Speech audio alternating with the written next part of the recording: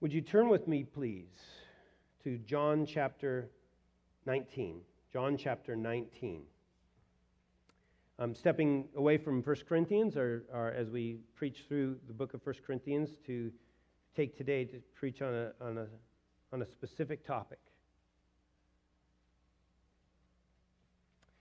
Uh, if you recall, when we were going through the book of Acts, uh, in chapters 25 and 26, that's when Paul gives his defense before the Roman governor Festus and the Jewish king Agrippa. Agrippa was the son of Herod. He's the one who killed James, he's the one who imprisoned Peter. He was the last of the Herod, Herods who play a significant role in New Testament history. His great uncle, Herod Antipas, was the Herod of the Gospels. His great grandfather, Herod the Great, he ruled at the time when Jesus was, born. Agrippa was most likely of Jewish ancestry. He was raised in the midst of Jewish life, making him well versed in Jewish affairs. Paul knew this, and, and near the close of his defense, he puts Agrippa on the spot. He says, King Agrippa, do you believe the prophets? I know you do. Now, to say yes, it would mean that he would have to admit that what, what they taught about Jesus' death and resurrection was true, which would make him appear foolish before Governor Festus. To deny the prophets, well, that would outrage his Jewish subjects. And so instead of answering, Agrippa seeks to dismiss Paul with a question of his own. In a short time, you will persuade me to become a Christian. Now, this phrase, in a short time, it's a little obscure. Agrippa is either saying, Paul, do you think you can convince me to become a Christian in such a short time? Or, Paul, you almost convinced me to become a Christian. You know, either way, the implication is that Paul's arguments were compelling. They were having an impact upon Agrippa. The only problem was Agrippa was unwilling to take any sort of public stand on the matter. Inwardly, he may have held the conviction that Paul was speaking the truth. He couldn't deny what Jesus or what Paul was saying. He, he might have been moved by Paul's words. Inwardly, there was the awareness, perhaps even the desire, to know, to understand more. But Agrippa could go no further. He could see where he would like to go, but he didn't have the courage to act. He felt compelled, but, but did, not, did not have the will to move. He wasn't far from the kingdom of God, but he, he halted outside the gate. He neither condemned nor ridiculed Christianity, but like a man paralyzed. He could only look at it, examine it. He didn't have the strength of heart to, to reach out, lay hold of it himself, and receive it to himself. And sadly, there are many in churches today like Agrippa. They believe the Bible. They have no great objections to the gospel. They admire men who are who are committed, who are outspoken followers of Christ. They, they come regularly, they even give their money. But sadly, they never seem to get beyond a certain point in their Christianity. They never come out boldly on Christ's side. They never take up their cross. They, they never confess Christ before men, and they never give up the inconsistencies in their life. So when you speak to these folks, they always mean, intend, plan, desire to someday be a more committed Christian. They know that they're not what they should be. They hope to one day be different. That day, though, it, it never seems to come. They remain well meaning every day until they run out of days. They're kind, they're good natured, they're helpful, they're respectable people. They're not enemies. They're friends. Like Agrippa, they're either content to be almost Christians. They're content to be just outside the door. You just simply won't get them to go any further. There's another possibility, too, though. They may be Christians, only they're secret ones. There is simply little outward evidence to the little faith that's in their heart. Can you see what the problem is here? From the standpoint of salvation, the almost Christian and the secret Christian are worlds apart. But practically speaking, the differences can be negligible. You know, let's say a person has great interest in art, and so they decide that they're going to visit the Louvre in Paris. They save up their money for a trip, they, they take their time off of work, they endure that long transatlantic flight to Paris. You know, if this person was like Agrippa, when they got to the Louvre, they would find a nice park bench outside and they'd have a seat. They almost went to the Louvre. But if the person was a secret follower of Christ when they visited the Louvre, they'd pay the admission, they'd enter through the front doors, and they'd find a nice bench in the lobby and they'd have a seat there. Only one of those people can say that they actually went in the museum, but neither of them enjoyed it as they could have. See, when it comes to Christ and salvation, the implications between those two kinds of people are, are far greater than just enjoyment. The difference is heaven and hell. But enjoyment is a factor too. Right? When, you, when you taste good food, when you taste really good food, you know, one bite is not enough. Right? You want more.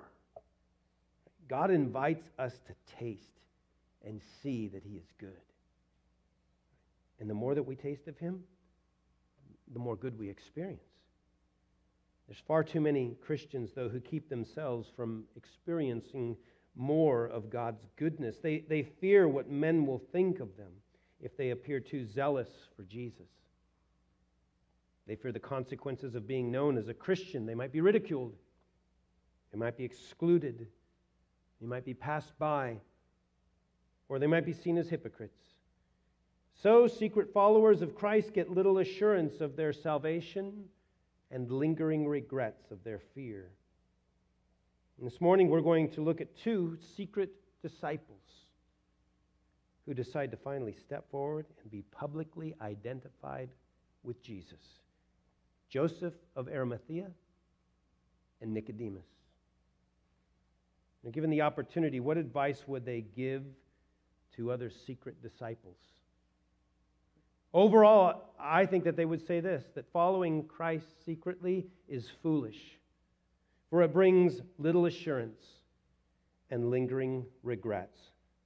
Following Christ secretly is foolish, for it brings little assurance and lingering regrets. Specifically, here are five bits of advice I'm suggesting that they would, they would give to all secret disciples. Advice that is designed to urge us not to waste our opportunity and become vital effective witnesses for Christ. Find Jesus while you can. Fix the cross in your mind. Fear God more than man and focus on what God says. So I'd like to read our text here, which is in John chapter 19, beginning in verse 38, beginning immediately after the crucifixion of Jesus. Would you read with me and then we'll pray? After these things, Joseph of Arimathea, being a disciple of Jesus, but a secret one for fear of the Jews, asked Pilate that he might take away the body of Jesus. And Pilate granted permission. So he came and took away his body. Nicodemus, who had first come to him by night, also came, bringing a mixture of myrrh and aloes about a 100 pounds weight. So they took the body of Jesus and bound it in linen wrappings with the spices, as is the burial custom of the Jews. Now, in the place where he was crucified, there was a garden, and in the garden, a new tomb in which no one had yet been laid. Therefore, because of the Jewish day of preparation, since the tomb was nearby, they laid Jesus there. Would you pray with me? Father, you have sent your Son into the world so that those who were, chil- were objects of your wrath might be rescued. It was through Christ identifying himself with us sinners that we could be made holy ourselves and escape your wrath. And so we, as those rescued, may we be willing to identify ourselves with your Son. For he is worthy. He is the Lord. He is the sovereign King. He is exalted above all else. He has all rule and all authority. There is none like him, there is no one above him. Every knee will bow, every tongue will confess that he is Lord.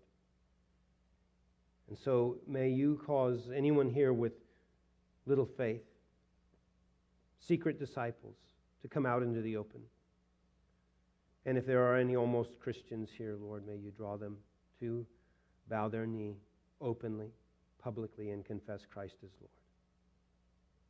Do this work, we pray, in Jesus' name. Amen. So in verse 38, John, he suddenly introduces us to Joseph, who is from Arimathea. And then in the next verse, John brings back someone that he introduced back in chapter 3, which is Nicodemus. Um, he came uh, to a clandestine meeting with Jesus. Um, we don't know a whole lot about these two men, but what we do know is significant. They were each rich, they were prominent men. Both were members of the Sanhedrin. They believed in Jesus, at least to some degree. Nicodemus had confessed at the beginning of Jesus' ministry that he was at least a teacher from God. And on that occasion, though Nicodemus had come to Jesus by night, a fact that John reiterates each time he refers to him, including in our text today. Joseph of Arimathea is described here and in Matthew as a disciple, prominent member of the council who himself was waiting for the kingdom of God. Uh, Luke says that he was a good and righteous man. He, he, uh, Luke also informs us that Joseph had not consented to their plan and action to condemn Jesus. And yet, apparently, his protests were silent ones. In both cases, we're left wondering about whether or not these men were truly born again followers of Christ. Just as there's little evidence up to this point of their conversion, there was certainly little assurance for them. They must have wondered if they were truly following him as well as they silently stood by and allowed Jesus to unjustly be condemned. Having disagreed with it in their hearts and not with their voices, it must have produced a considerable amount of regret within them. There's no mystery as to what Joseph and Nicodemus that kept them from confessing Jesus. He, John tells us tells us in verse 38 it was fear. Fear of the Jews, specifically.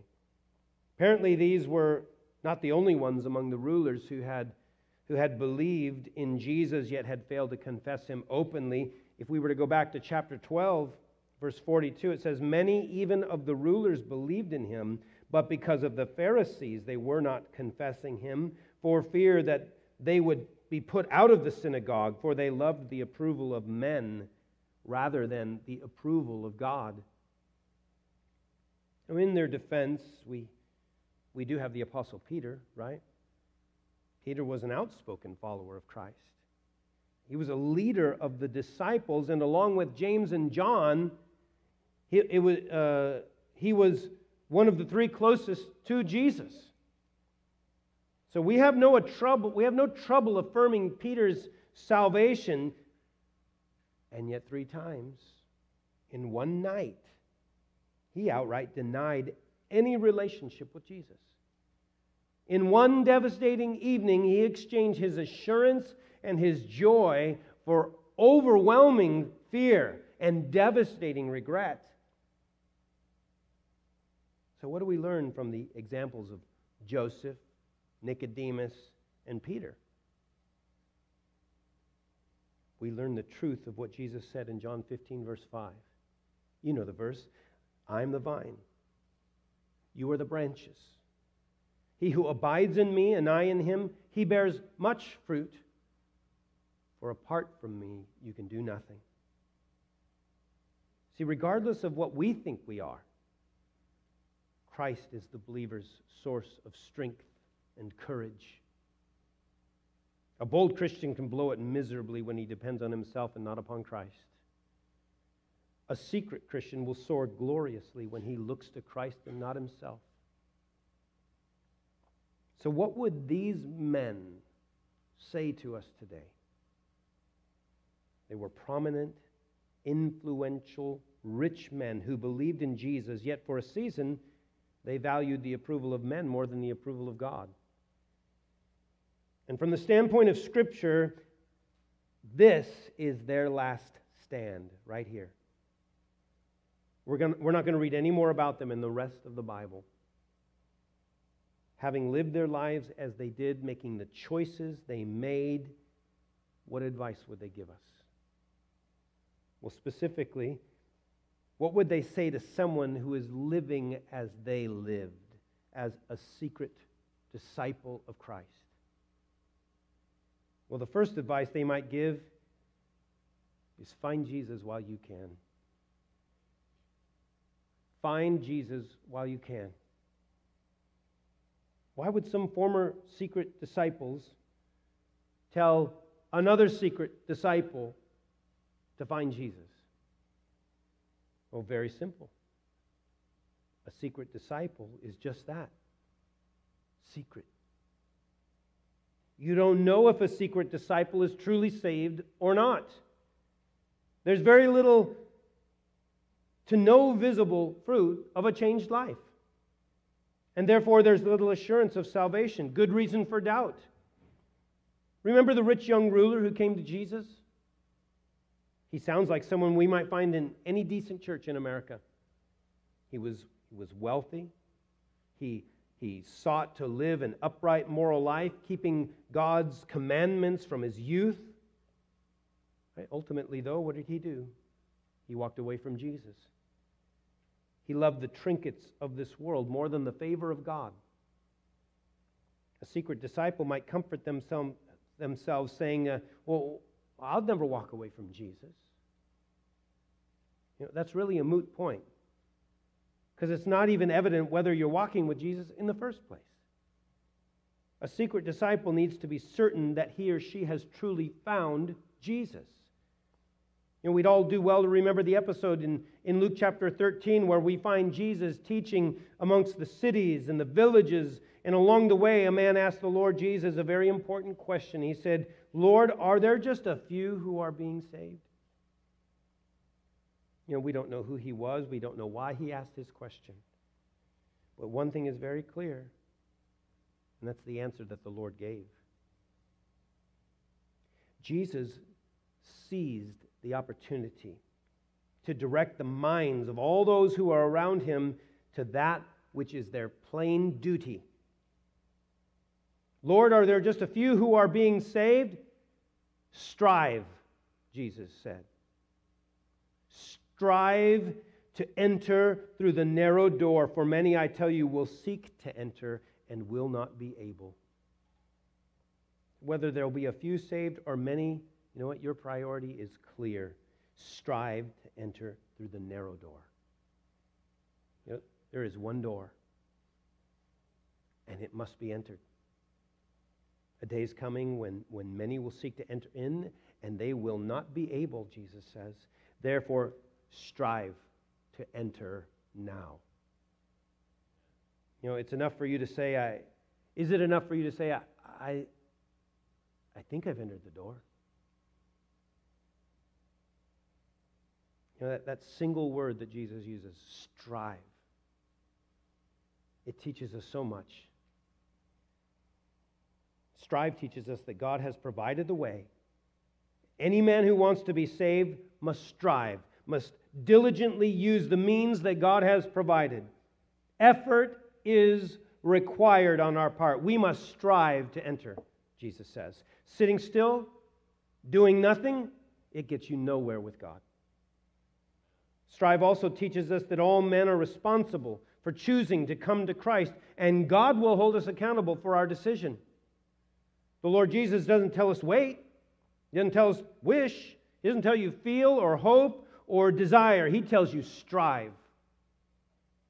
Over and over again in the Gospels, Jesus' words tell us that we must respond. He says, Come, repent, believe, work, ask, seek, knock. Right, my friends? The Bible is clear that our salvation, from first to last, is entirely of God. He is sovereign over our salvation. However,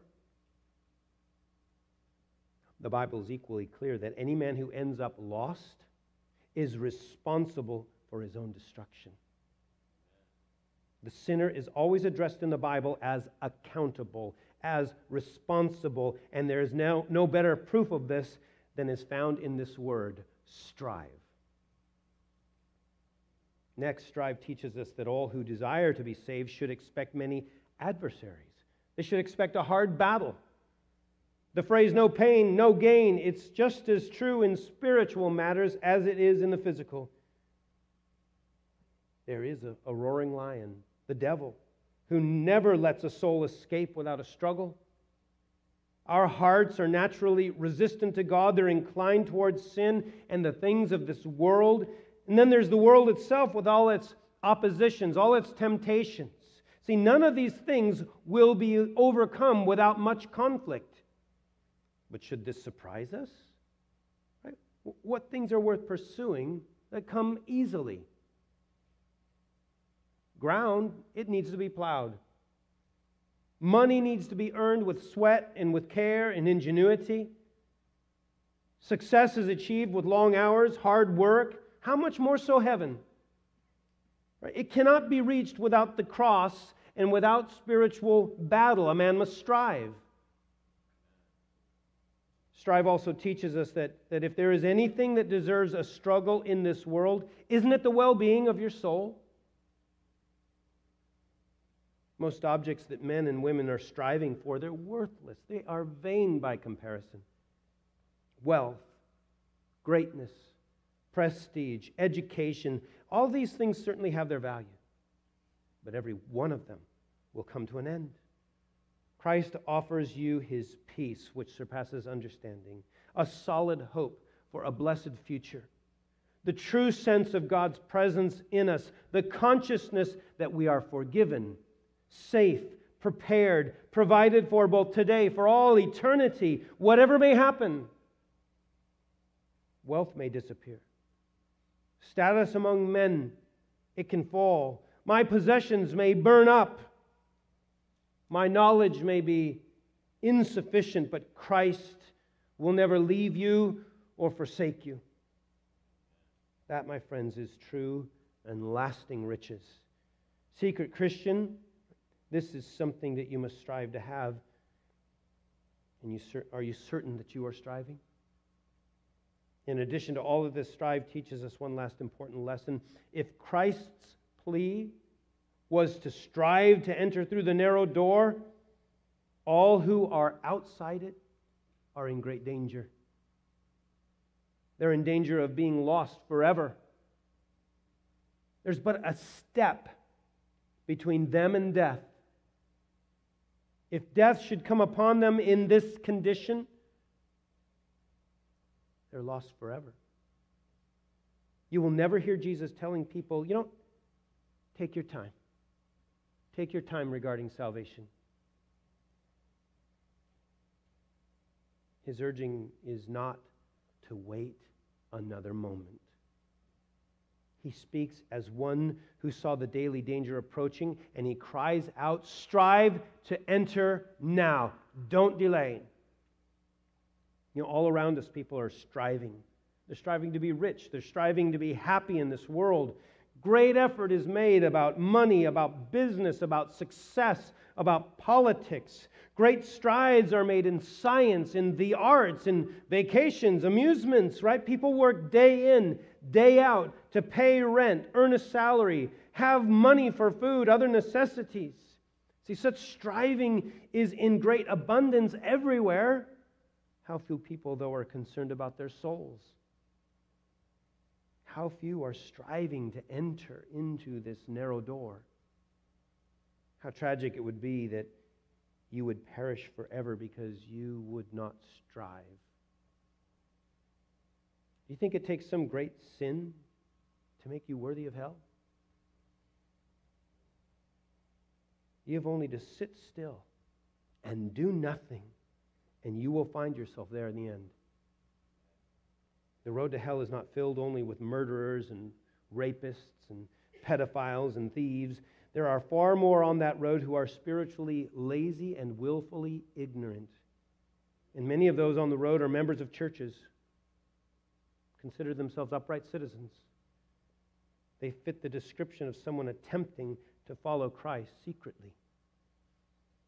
You know, perhaps you're thinking, hey, I'm striving. I go to church. I read my Bible sometimes. I, I, I pray when I have a need. You know, what gives? Let me urge you, secret Christian, not to suppose that you can strive too much. You can never do too much for yourself spiritually. In all labor, there is profit, the Proverbs say. In fact, there is no labor so profitable as that which is for your soul. Therefore, Christian, guard yourself against even the slightest carelessness about spiritual graces. Beware of prayerlessness. Guard against failing to read the word. Be watchful of a lazy attitude about church and fellowship. Fight against sleepy, critical, or complaining as you listen to the preaching of God's word. See, you can afford to be moderate in other areas of your life. You can be careful not to go to certain extremes, but when it comes to God, though, pursue Him with all your heart, with all your mind, with all your strength. Fear moderation when it comes to your soul as you would fear the AIDS virus. Stop caring what others think of you. Let it be enough that your Lord tells you to strive. This door is narrow, Jesus says. It's narrow to all who would love their sin more than Christ. It's narrow to all who love this world and seek first its pleasures and rewards. It's narrow to all who come more, care more about the opinion of men than of God, and this will never change. And there's coming a day when this door, this narrow door, it's going to be barred shut. This is the time when Jesus speaks of where many will seek to enter and will not be able. Many will try at that time. They'll seek after God, but it will be useless. Many will try at that time to enter, but they'll not be able. Right? They'll discover their mistake one day, but unless there is repentance today, it will be too late. At that time, no one will be able to deny that there is a God that there's a devil, that there's a heaven, that there's a hell. All will see with their own eyes. Faith and belief will finally become one, but it will be too late. All that was scornful and worthless about Christianity, it will at that time be, be proven true and necessary. On that day, all will long to be saved. All will long to be forgiven. All will long for peace. They'll long for God's grace, but such faith and such desires, they'll come too late. I have no doubt that this is where Joseph and Nicodemus would start with us. Strive to enter the narrow door. Secret Christian, make certain that you have found Jesus before it's too late. Now, the next bit of advice that they would give to the secret disciple fix the cross in your mind. Fix the cross in your mind. See, up until Jesus was crucified, Joseph and Nicodemus were content to say nothing. They remained silent while Jesus was unjustly condemned and killed. And then, after he was dead, Joseph provided a tomb and Nicodemus some extravagant burial spices. See, so often we fail to realize what we have until it's gone. We give flowers at funerals when we've hardly said an encouraging word to the deceased while they were alive. Such things are preventable. And then, out of nowhere, Joseph steps out. He says in verse 38 that Joseph asked Pilate that he might take away the body of Jesus. So, we need to understand some things so we can truly appreciate really what the Bible tells us Joseph has done here. We know that Rome made an exception in the case of the Jews in allowing the bodies of, of crucified criminals to be taken down. They would normally be left up for, for the vultures. The Jews never refused to bury any executed criminal, but instead of allowing the bodies of such sinners to be placed in family tombs where they might desecrate those already buried, they provided a burial site for criminals just outside the city. And this was the this was where the other two men uh, crucified alongside Jesus were most likely buried. Joseph, however, he used his rank as a member of the Sanhedrin to gain access to Pilate, ask for the body of Jesus. So we take note of what Jesus, or excuse me, Joseph did for two reasons. First, Joseph knew he was making enemies from amongst his peers in doing this. Secondly, Joseph was asking for preferential treatment from Pilate for a man executed for sedition. See, Joseph didn't know the nature of the exchange between Jesus and Pilate. We can read about it. Joseph had no idea.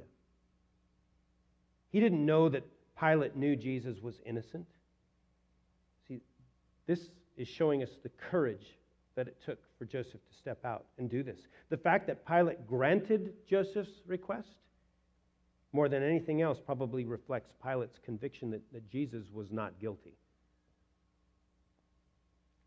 Along with Joseph, Nicodemus also stepped forward into the light. John says that he brought with him in verse 39 a mixture of myrrh and aloes, about a hundred pounds weight. This is a significant amount of spices. Right? By way of comparison, when Gamaliel, the elder, who was a very respected man by the people of Israel, when he died in 50 AD, about 80 pounds of spices were burned in his honor. John's mention of the weight is to show the great honor that this wealthy man was showing Jesus in his death. Most likely, this was a combined effort on their part when, with Joseph taking care of the legal matters to get his body and Nicodemus securing the spices. What can explain the change in Joseph and Nicodemus from secret disciples to bold disciples? They'd been delaying their response to Christ. Right? They, they thought that they could put it off. They thought that they could delay their confessing him as their Lord, put off following him indefinitely. But providence intervened. And here is Christ at the end of his life. They're, they're confronted with him. Right? What brought about such change? The great change that took place was the cross. See, when Joseph and Nicodemus came unhappily with the Sanhedrin and stood watching Jesus die, these two men were changed. When the centurion stood apart from the mob, apart from the gambling men, watched Jesus die, the centurion was changed. The cross changes people. Once our Savior said that if he were lifted up, he would draw all men to himself.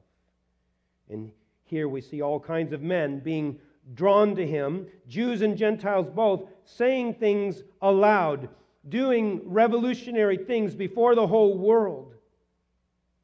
Jesus' grace and suffering is a means of grace to us, right? His forgiving love on the cross, it makes us more loving.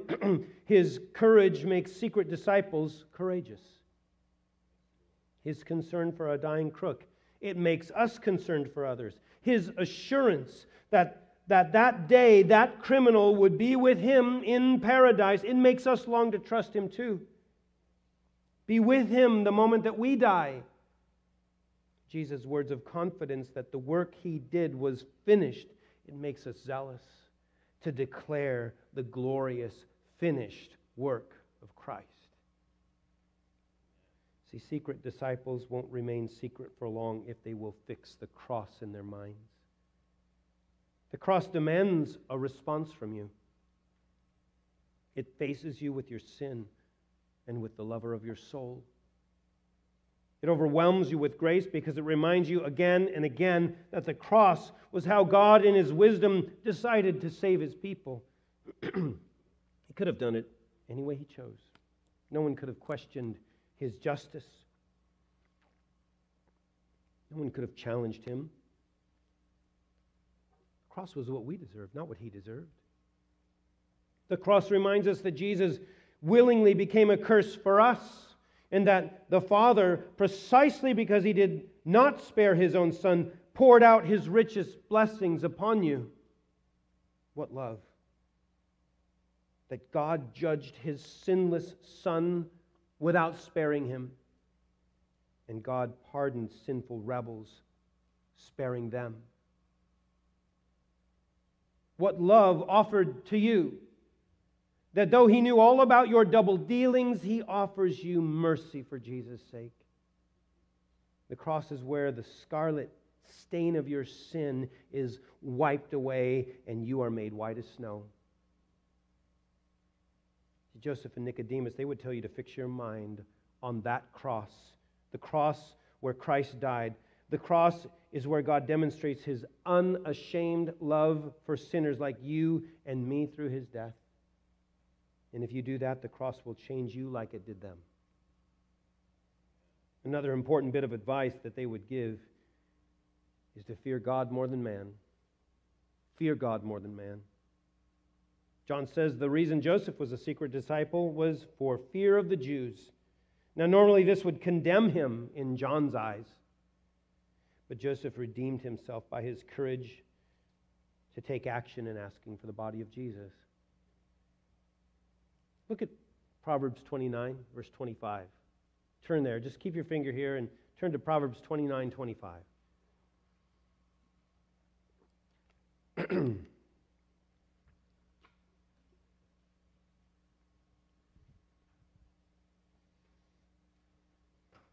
I want you to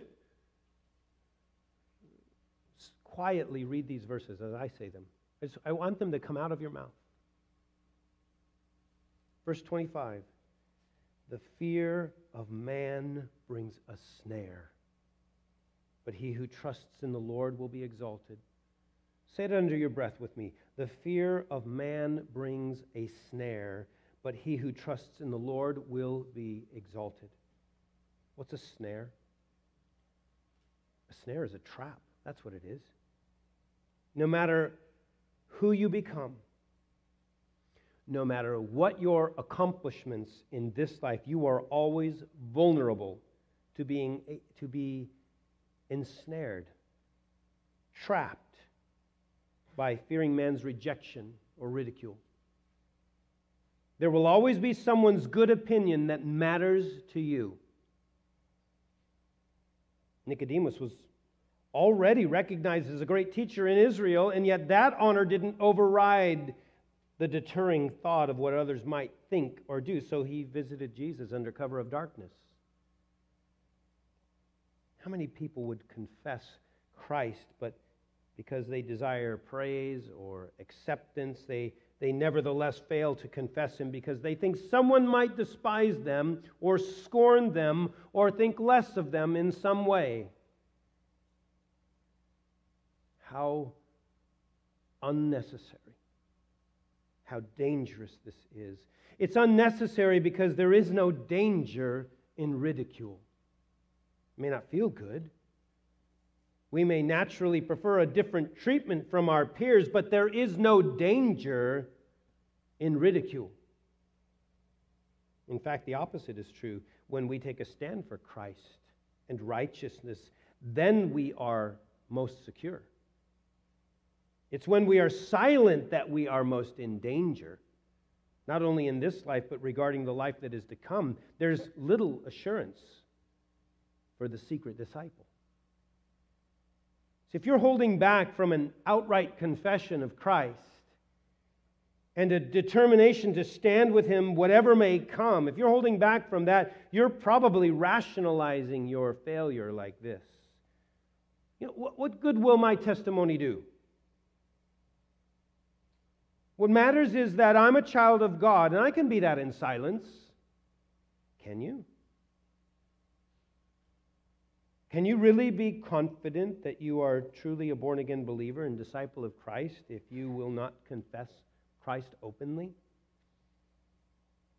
You know what the scriptures say. Everyone who confesses me before men, I will also confess him before my Father who is in heaven. But whoever denies me before men, I will also deny him before my Father who is in heaven. Whoever does not carry his own cross and come after me cannot be my disciple. If you confess with your mouth Jesus as Lord and believe in your heart that God raised him from the dead, you will be saved. For with the heart a person believes, resulting in righteousness, and with the mouth he confesses, resulting in salvation. See, why would we ever be so foolish as to fear man more than God? Our fear of man is irrational. It's the epitome of foolishness. We really have no idea just how vulnerable we are to this fear. The fear of man, it has ensnared some of the greatest of believers. Remember Abraham? What do we call him? The father of faith. He once nobly stood before the king of Sodom and said, I will not take a thread or a sandal thong of anything that's yours. That was a king. But how small he looked before Abimelech, another king, when in his fear he lied, calling Sarah his wife and not his sister. Or the other way, his sister and not his wife. Don't forget about Elijah, one of the greatest of all men. He took on all the prophets of Baal, had them all killed by the brook of Kishon. He goes to the top of Mount Carmel. He prays until a three year drought ends. And yet, after this great excitement, he's afraid of one woman, Jezebel. And the great Elijah, he shrinks down into a frightened man. He runs away and he cries, It's enough now, O Lord, take my life. You see, the fear of man is a snare. It's a snare that will take down the greatest of men and throw them in the dust.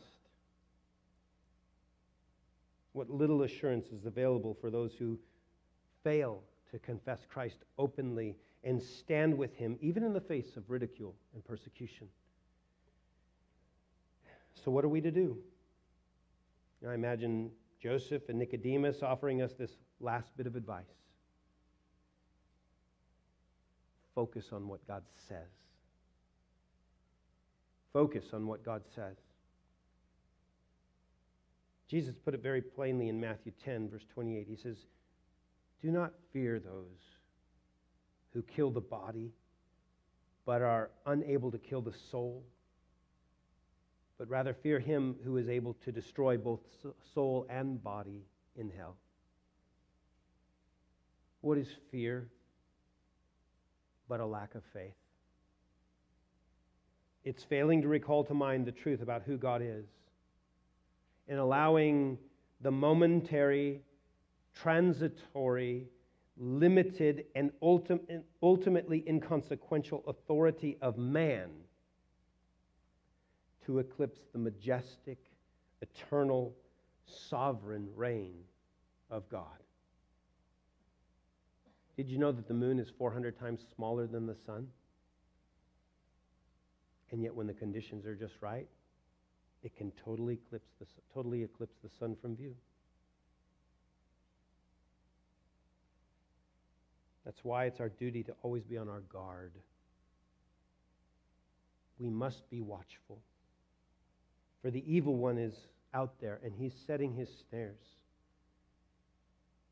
And the best way to prepare ourselves is to humbly depend on God every day in his word and in prayer. These are the spiritual disciplines. You forsake them, you're putting yourself at risk. Neglect in the private devotions to God will lead to public neglect and failure. It's inevitable. I was just telling someone the other day, you know, I've, I've heard people make much of when Jesus comes and finds the disciples sleeping in the garden and he says, Watch and pray. And I thought he's just he's just rebuking them for falling asleep. But how true that is of us in this life. We need to watch and pray and not fall asleep. It's all too easy. Would you look with me at Isaiah 51, verse 7?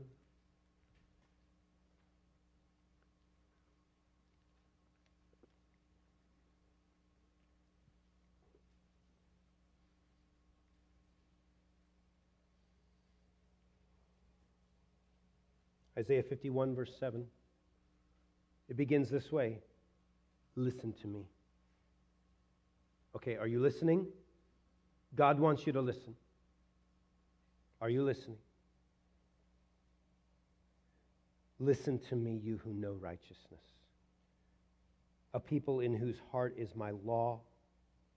Do not fear the reproach of man, nor be dismayed at their revilings, for the moth will eat them like a garment and the grub will eat them like wool.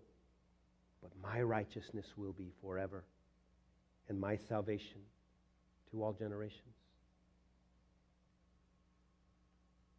Is there Joseph here? Nicodemus? Have you had enough of little assurance and lingering regret? Time to step forward into the light. You're not following some humiliated Jewish preacher. You are following the Lord of glory. He doesn't ask you to be a witness for him, he demands it. He alone is worthy. He can demand this. It's foolish to follow Christ secretly because it brings little assurance and lingering regrets. Turn away from your sinful, Christ dishonoring fear. Be a light for Him to those who are around you. Or maybe you're more like Agrippa. You're an almost Christian. There's many wonderful promises that God makes in His Word to those who would choose to follow Him. But keep in mind, though, that the Bible also makes promises to those who never come to him. To those who promised that they'd come one day but never did. To those who told themselves they'd come after this accomplishment or that achievement or this phase of life but were cut short. To those who didn't come because they were angry at God for not giving them what they wanted or taking something away they loved to those who thought they'd settle down one day and get religious. God promises you one thing an eternity of regret. He who does not obey the Son will not see life, but the wrath of God abides on him. How are you not obeying? He says, Come. Come to me. So, staying as you are today, it will only lead to regret. Turn away from your sin. Come openly and follow the Lord Jesus Christ for salvation. So, will you do that? Will you come? The Spirit and the bride say, Come. And let the one who hears say, come. And let the one who is thirsty come. Let the one who wishes take the water of life without cost. Let's pray. I want your words to linger. Come.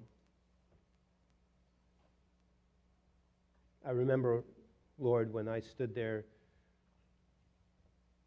with the line, so to speak, in front of me. And I thought of all the reasons why I, I shouldn't come. And in the circumstances that you had me in and the way you'd made me and wired me, there was one appeal that I could not silence. And that was hell. I, I knew there was a hell as much as I knew there was a God, and I knew that apart from, from, from me figuring out how to get to heaven, I was going to head to hell. And on that day, so many years ago, I dropped my weapons and I came. I stopped running and I came. And I have never looked back. I have never wished I didn't come to you. You have filled me with joy, peace, assurance. You have satisfied me. You have dealt kindly with me. You have chastened and disciplined me as any loving father would. But I have never looked back and regretted that I came. Move upon hearts even today. They need to strive to enter. They've sat there doing nothing. They've acted as Joseph and Nicodemus once did, secret. And in their secrecy, they were uncertain. So let them come forward and claim you. Please do your work for their sakes and for your glory, we ask in Jesus' name. Amen. Let's stand.